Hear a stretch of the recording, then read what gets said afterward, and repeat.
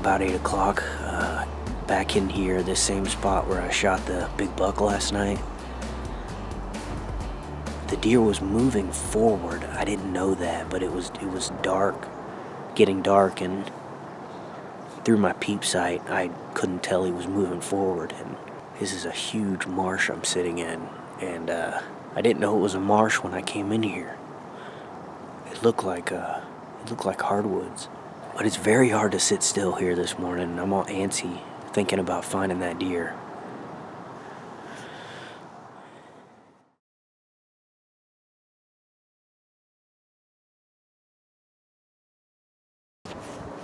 Alright, I'm back in the saddle, literally and figuratively. I've got a lake to my left that is 32 yards away. I've got a lake to my right that is 8 yards away. I'm sitting about 30 feet high, and my wind is blowing out over the lake to my left. I'm expecting the deer to come from the west. If they do, I'm hoping my wind is going to blow over the top of them. Or at least they're in one of my shooting lanes before they win me. So if they follow the script, I should have a 15 to 25 yard shot. Trying to make up for last night.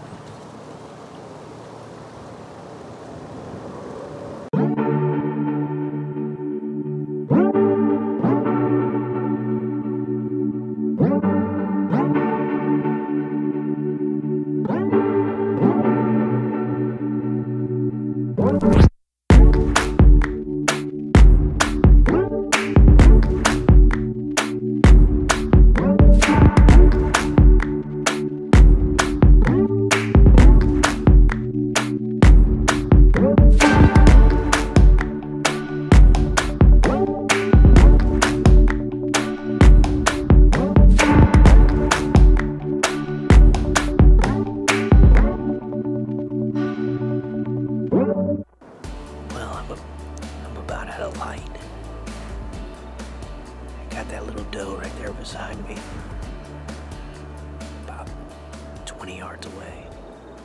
She's really cramping my style because I can't rattle. That's probably going to be it because uh, I'm about out of camera light, so that's it for me. Catch you guys next time. Get outdoors.